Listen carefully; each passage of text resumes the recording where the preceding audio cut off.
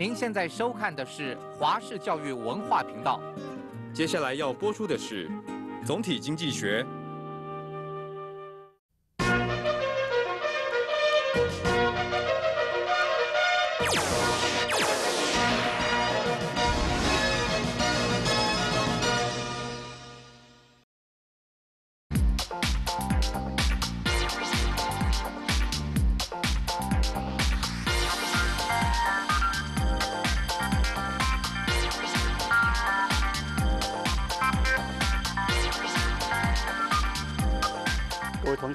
大家好！欢迎各位同学继续参与我们总体经济学第七讲商品市场的讨论。那呃，在进行第七讲之前呢，呃，给同学一个呃诚恳的建议哦，因为从第七讲开始要进入我们这本书哈，也就总体经济学的最主要的内容哈，有关总体经济模型的介绍跟它的应用。所以呢，在同学参与。呃，以后的这几章的章节讨论之前呢，呃，希望各位同学能够回去看我们第一章哈，有关各个部门跟各个市场之间的关系。那如果你对这个市场跟部门之间的关系能有更深刻的了解的时候，那对我们以后的谈探讨哈，可能会更加的呃顺利啊。那呃，我们。以前呢，哈，就在前几章里面，我们谈了一些总体经济学的各个主主要的变数，哈，例如说呃国民所得啦，哈，物价水准啦，工资率啦，哈，利率水准等等的哈。那从这个章节开始，我们就要跟各位同学介绍哈，这些主要的总体经济变数哈，它是怎么如何来决定的哈。好，那我们今天先来看一下第七讲哈，就是看一下商品市场哈。那第一个，当然我们先来看一下我们的单元目标哈，就是我们。这一个讲次，呃，希望同学能够学到些什么哈？那第一个当然就是要知道说，呃，构成商品市场需求的，呃，最主要的内容啊。第一个就是家计单位的消费哈，那还有厂商的投资、政府部门购买支出的它的意义哈。那第二个当然是要了解古典学派与凯因斯学派对总和供给看法的差异啊。那第三个，希望各位同学能够知道。呃，古典学派商品市场均衡的条件啊，那第四个是能够知道古凯因斯学派哈。认为商品市场均衡的条件是什么哈？那为了达到这些目标呢？那当然我们的课程哈，这这一站课程的授课大纲，当然就是围绕这些呃单元目标在进行哈。那我们先呃秀一下，我们先看一下我们这个讲次的呃授课大纲哈。第一个当然就是商品市场的需求的部分呢，那当然就包含了呃消费啦、投资啊、政府支出哈。那另外第二个当然就是商品市场的。供给哈，那我们要去看一下商品市场产出是怎么来的哈。那接下来的两节哈，当然我们就要看一下，呃，在不同的呃条件之下哈，我们要分别去看古典学派啊对商品市场均衡的看法。另外也我们最后要看一下凯恩斯学派啊对商品市场均衡的看法有什么差异哈。最后比较他们的差异之。好，那首先我们就来看一下商品市场的需求面的部分啊。当然这边就要介绍家计单位的消费。哦，厂商的投资跟政府部门的支出哈。好，我们首先来看一下家计单位的消费的部分哈。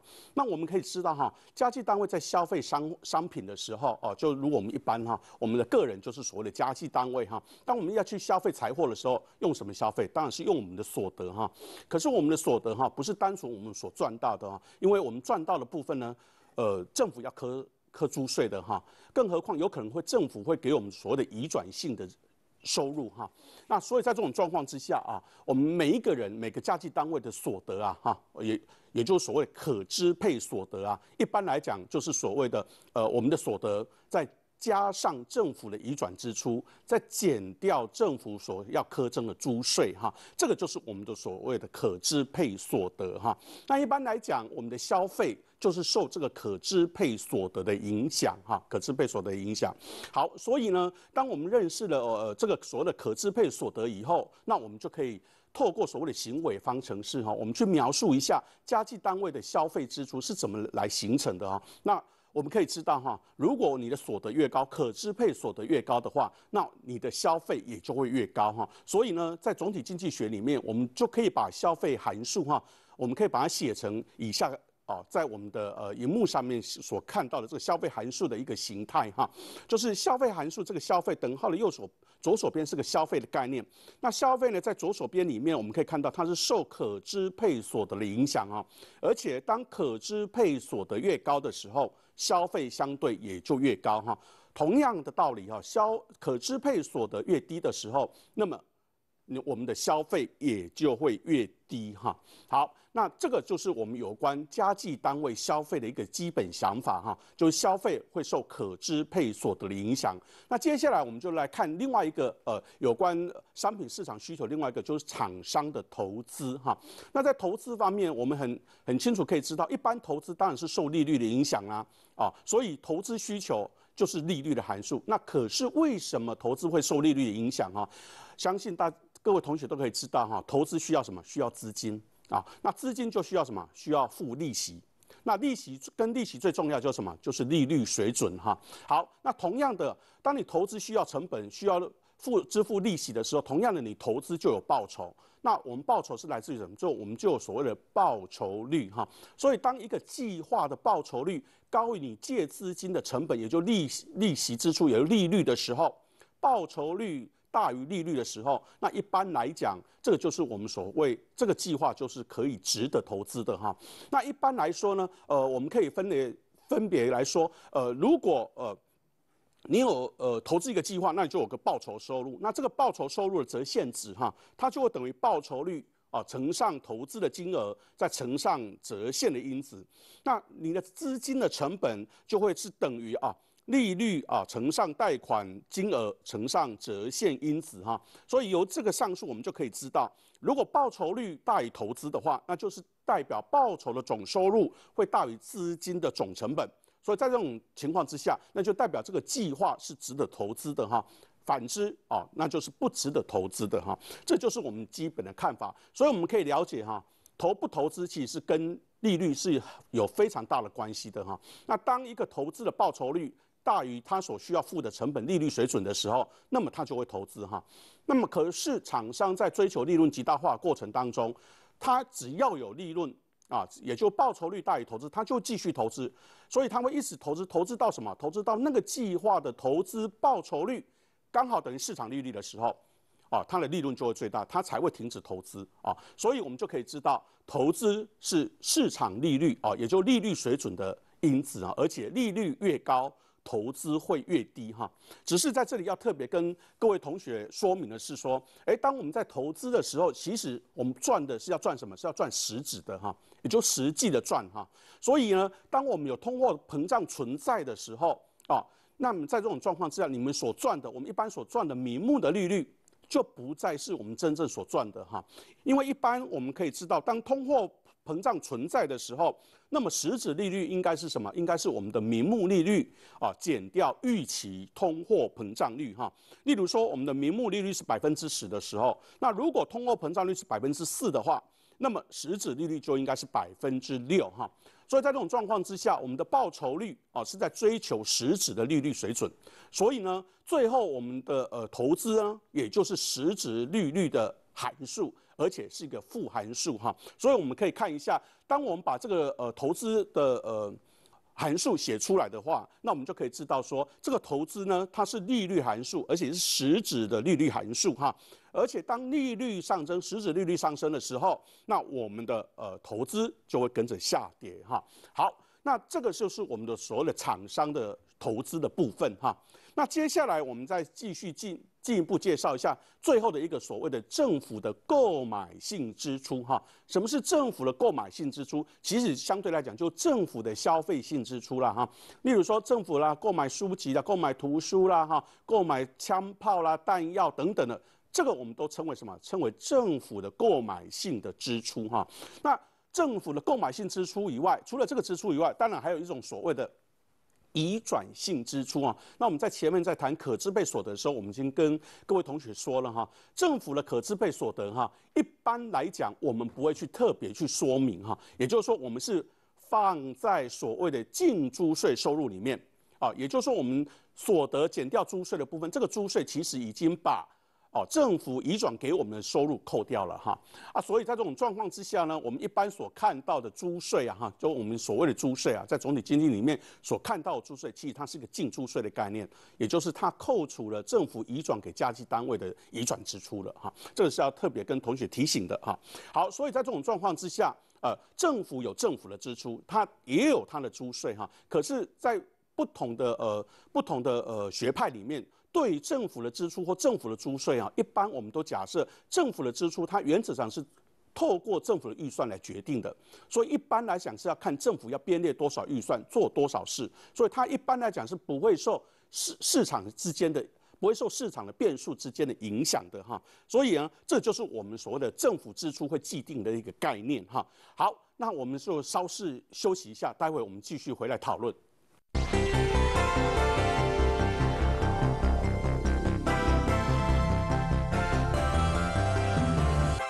欢迎各位同学继续回来参与我们总体经济学讨论。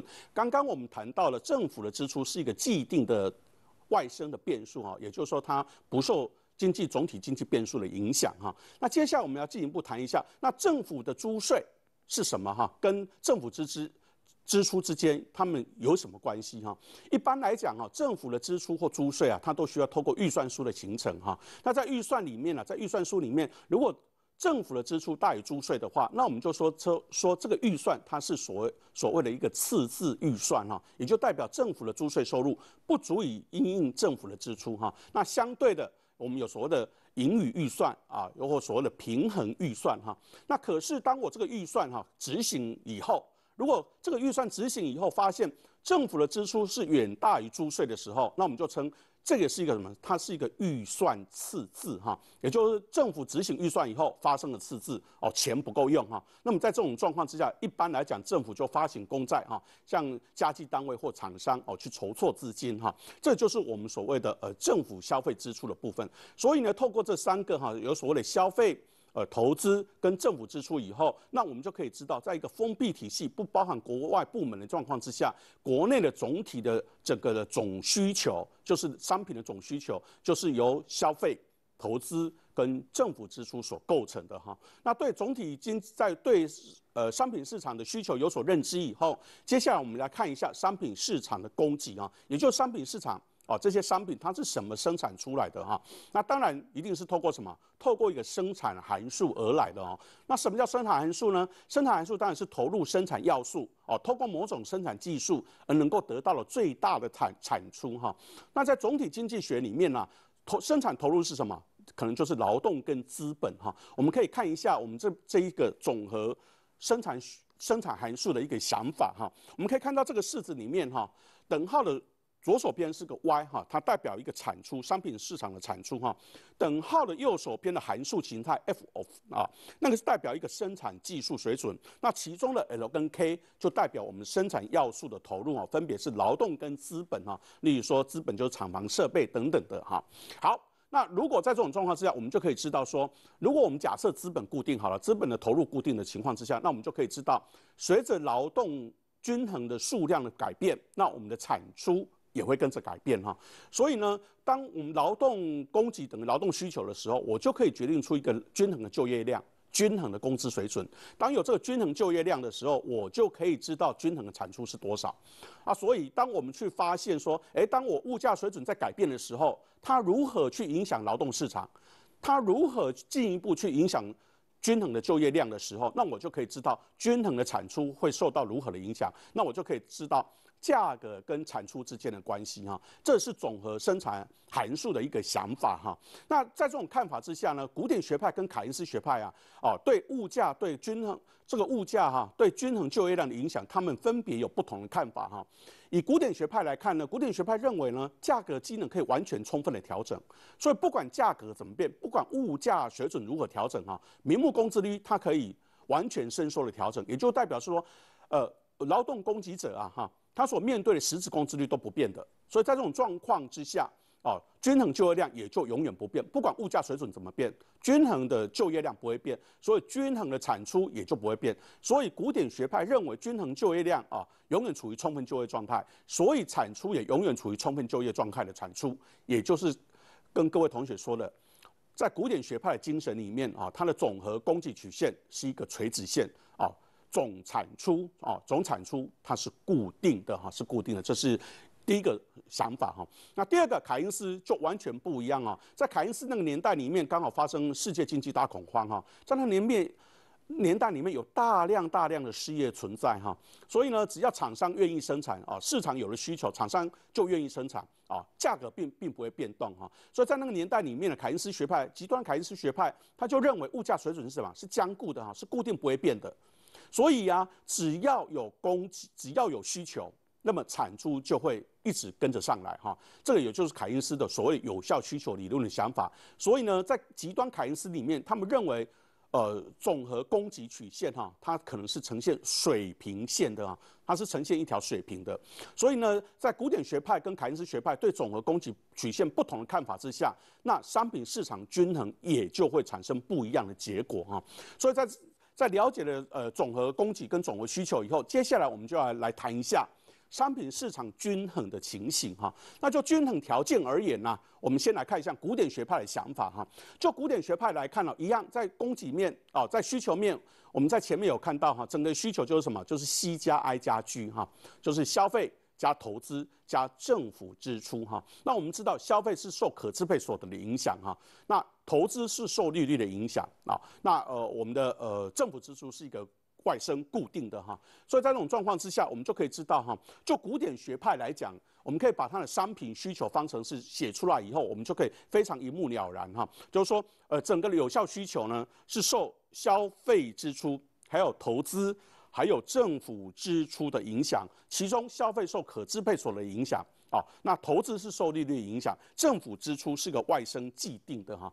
那这个是在呃需求面的部分哈。那另外在供给面，我们可以知道哈，刚刚我们讨论了古典学派认为供给是什么？是固定的哈。所以在供给面而言，它的供给啊哈，整个的产品的供给就是会在一个所谓的呃完全竞争市场产出之下的哈，也就 Y S。啊，会等于 YF 八哈，这个代表什么？代表一个充分就业产出之下的。好，那如果产品市场要均衡，那当然就是要把什么？把我们刚刚讲的有效需求啊，就商品的需求哈，跟商品的供给啊，总结合在一起哈，就是代表代表古典市场的一个商品市场的一个均衡哈。好，那我们可以知道哈，就供给而言，这个产出啊是一个固定的，所以呢，在等号的左手边呢，我们可以可以知道哈。呃，当商品的呃总和供给是固定的时候，那么相对的，到最后整个的呃产品的呃厂商国民所得也会就会是固定哈。所以我们可以发现，整个的古典学派的精神哈，商品市场均衡完全决定在什么？完全决定在一个利率水准之上哈。当利率水准不同的时候啊，那我们就可以发现这个商品市场它又久了可能会不均衡，也就是说。商品市场均衡的话，那就会存在一个让商品市场均衡的一个利率水准。反过来说，古典学派就古典学派的认知，利率是决定在商品市场的哈，这是呃古典学派的一个基本的看法。那我们如果把呃这个所谓的 Y 哈等于 C 加 I 加 G 这个概念，我们稍微做一个整理哈。我们如果把 C 跟 G 哈，就是政府的呃支出跟呃消费的加计单位消费移到等号的左手边的时候，那我们就可以发现是一个 Y 减 C，啊，可以变成是个 Y 减 C 减 G 等于 I 的部分哈，也就是 Y 减 C 减 G 是什么？是整个的产出减掉民间的消费，减掉政府的消费，这个我们称为国民储蓄了哈。会国民储蓄会等于什么？会等于投资啊。哦，国民储蓄会等于投资。那如果我们进一步哈，把国民储蓄再稍微做一个化简，我们就会发现，国民储蓄会等于私人储蓄加政府储蓄哈，那要等于投资哈。那不管 anyway，不管怎么样，都是什么？也就是所谓的储蓄要等于投资。那储蓄跟什么有关呢？储蓄是跟所得有关哈，储蓄是跟所得有关。那所以在这种状况之下，储蓄又是固定，为什么？因为所得是固定哈，像我们这边所看到的 y bar 减掉 c of y bar 减 t 八。再减掉一个 G 霸，这代表什么？代表呃整个的国民储蓄是固定的啊，那右手边等到右手边就是一个投资，所以均衡的时候就是什么？就是储蓄要等于投资，所以我就可以解出一个所谓的均衡利率水准啊，解出一个均衡利率水准，这是古典学派哈对呃商品市场的一个基本的看法哈。那刚刚我们谈到的储蓄哦，国民储蓄等于投资的想法，我们也可以利用图七至一哈，我们来加以说明一下哈。这个图呢是呃古典学派的商品市场均衡哈，那我们可以知道哈储蓄。啊，它是不受利率影响，它是固定的哈，因为所得固定。那可是投资是受利率的影响，它是负函数的。所以我们可以知道，当商品市场要均衡的时候，就是有一个均衡的利率水准会出现哈。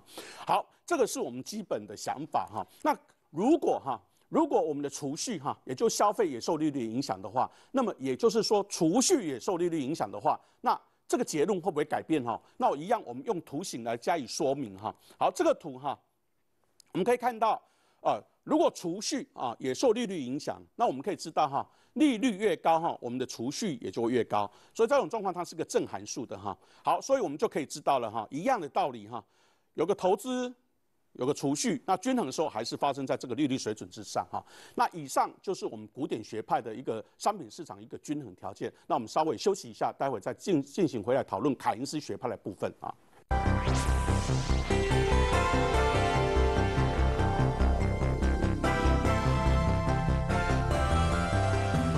欢迎各位同学继续回来，我们来讨论商品市场最后一个所谓的凯因斯的呃商品市场均衡的想法。那凯因斯市场的均均衡想法一样哈，我们从需求面来看的话，就凯因斯来看的话，整个的需求一样哈，是消费加呃投资加政府支出哈。可是不太一样的地方是在于消费函数里面，凯因斯认为消费函数啊，它是一个很特殊的一个函数哈。我们来看一下哈，这个凯因斯的消费函数的处理哈，消。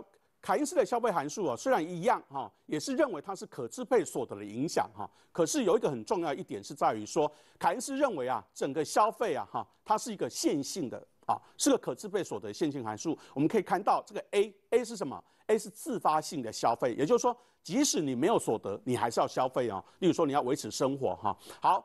那后面呢？后面是一个所谓的诱发性的消费，所谓的可支配所得增加，你会你的消费会增加，消费增加比例是多少？是 B 哈。那这个 B 是怎样？是介于零跟一之间的。为什么呢？因为当你的可支配所得增加的时候，你不会拿全部拿去消费，你有可能怎样？消费 B B 单位，例如说 B 等零点八，那就代表你所得增加一块钱的时候，你会消费零点八块钱，剩下的零点二块钱你会做什么？对的，拿去储蓄哈，所以在凯恩斯的呃有效需求理论呢，呃，他认为消费啊是个现行的函数哈。那另外一个谈到投资的时候啊，投资凯恩斯在那个年代里面哈，他跟古典学派不太一样哈。在凯恩斯那个年代里面，因为有世界经济大恐慌哈，有大量的失业哈，所以一般的厂商并没有有诱因去进行投资哈。所以如果有投资的话，那个也是个别的厂商。在既定的情况之下的投资，也就是说，那个投资是不受利率影响的，他本来就想投资的哈。所以在这种状况之下，凯恩斯认为他的投资在那个环境里面，投资是个固定的哈，不像古典学派认为哈，投资是利率函数哈，不是的。那当然没有对跟错哈，这是因为呃时代背景的不同哈。好，那所以凯恩斯的投资哦是固定的函数。那凯恩斯的呃在政府支出方面呢，当然也跟其他的经济学者哈，就是总体经济学派一样。认为政府支出是固定的啊，或者是甚至于租税也是固定的哈，所以我们就可以知道哈，从总和需求来看的话，哦，政凯恩斯的总和需求就是一样是消费加投资加政府支出哈，只是比较不同的地方是在于它的投资跟政府支出都是固定的啊，而且呃它的消费。支出形态啊，那个函数形态是确定的，是个线性的消费形态哈。那另外有了需求以外，接下来我们就谈好。那凯恩斯认为的供给呢？我们可以知道哈，从我们刚刚对供给的看法以外，我们可以知道供给曲线在凯恩斯的认为里面，它是什么？极端凯恩斯里面认为它是一个所谓的呃水平线哈，也就是说，只要有需求就有供给哈，只要有需求。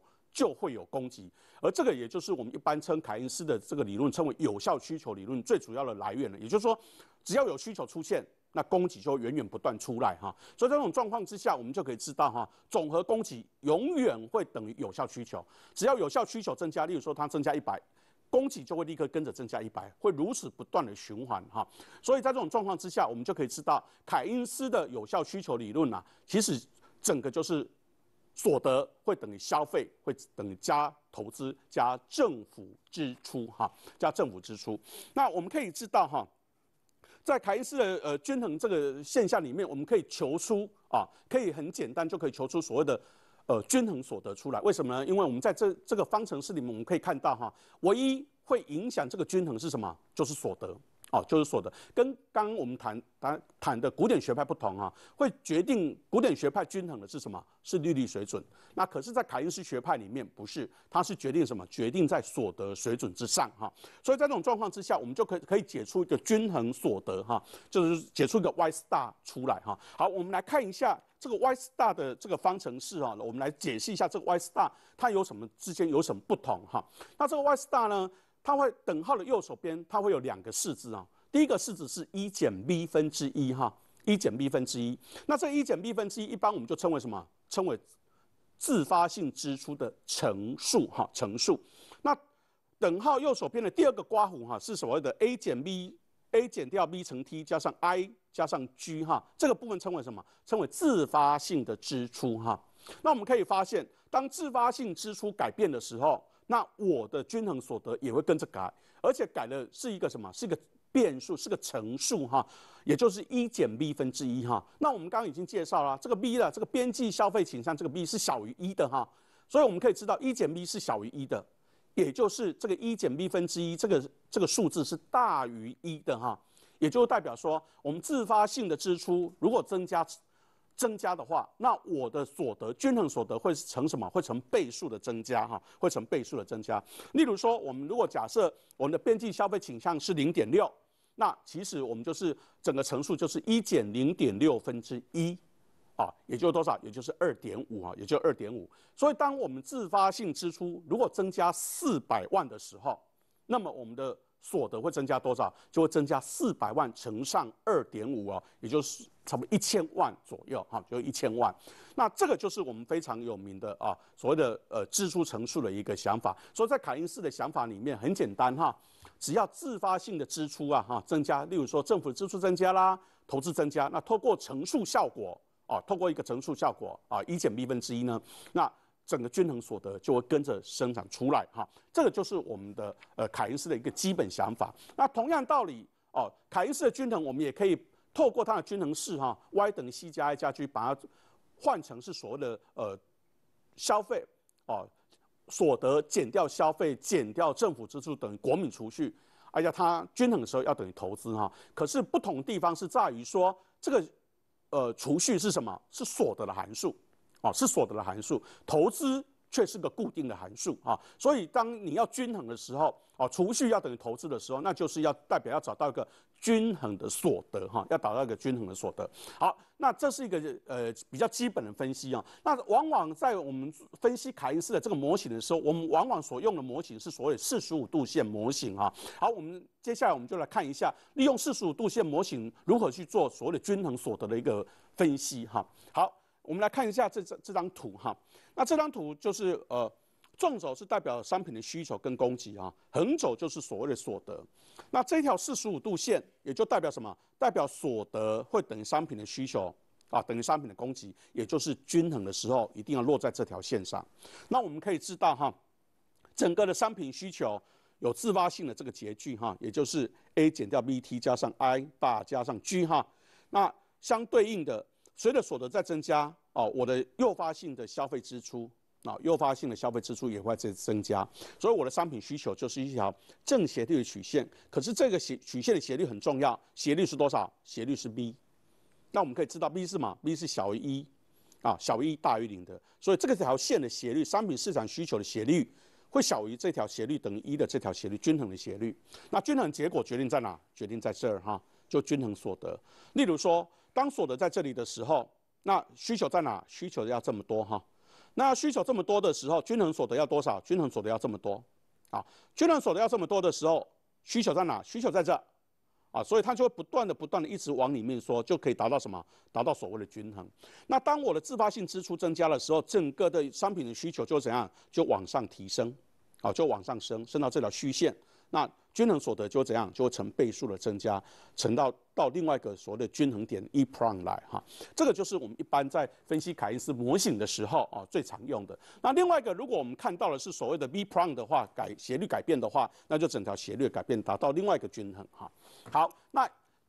今天我们讨论就是所谓商品市场的均衡的部分哈。那欢迎呃非常感谢各位同学的参与哦。那下一周开下一讲次开始，我们大概就是要谈货币市场啊，谈货币市场需求跟货币市场供给。好，今天谢谢大家的参与啊，再见。